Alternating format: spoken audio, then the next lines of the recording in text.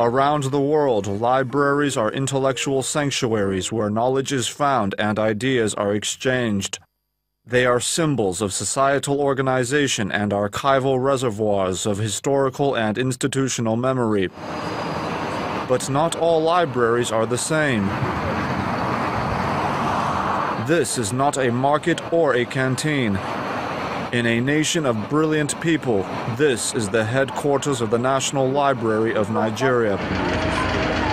Tasked with inculcating a national reading culture, this edifice stands as a monument of misplaced priorities.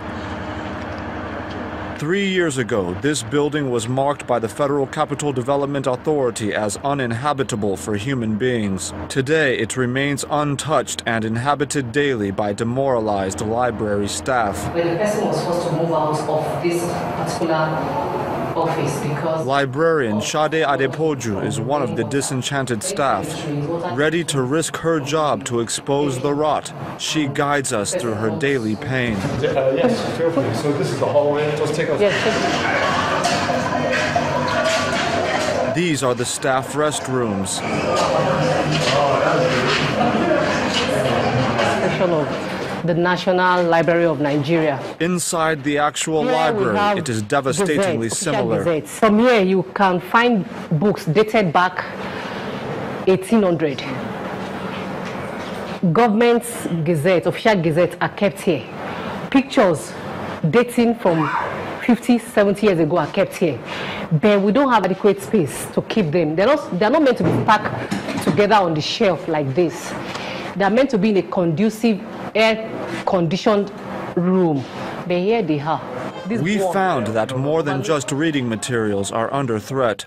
In the corner of this room is an empty and used beverage bottle, now wedged into the wall to block water leakages.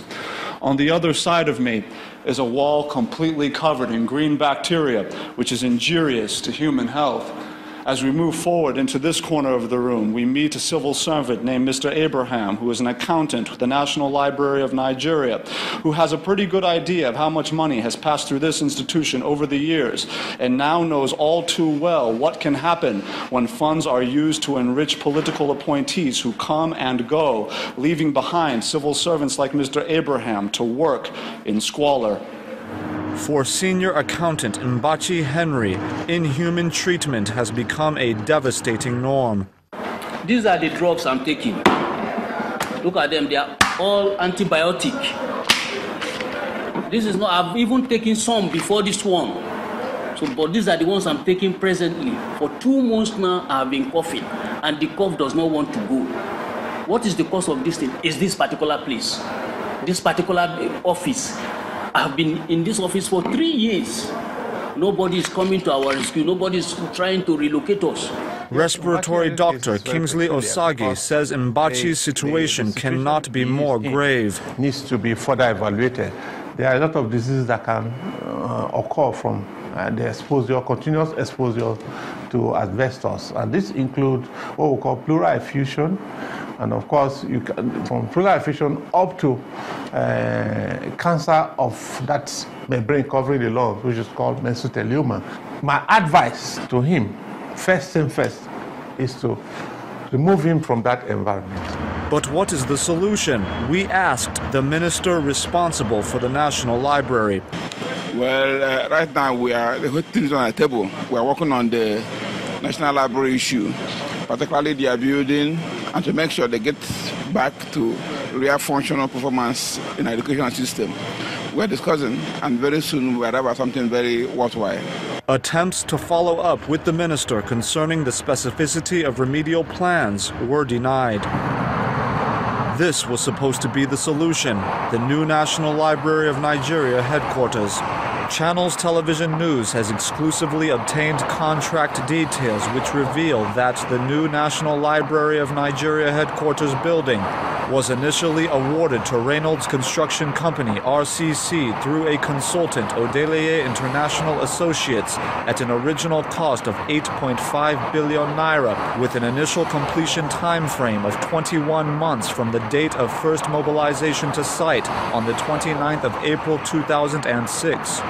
From 8.5 billion naira, the contract was upwardly revised to 17 billion naira before being revised upward again to 38.76 billion naira. It would finally be revised upward again to a staggering 78.37 billion naira. And nearly 12 years later, it stands hollow with 45% of the project completed. In every sector, the question of whether facilities will give Nigerians a chance to actualize their boundless potential arises.